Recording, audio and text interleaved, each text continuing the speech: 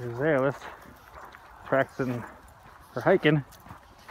Have her going in the front so she can get used to walking in the front or going down skinny trails. She can't fit side by side, so she'll be in the front, but she's doing a good job.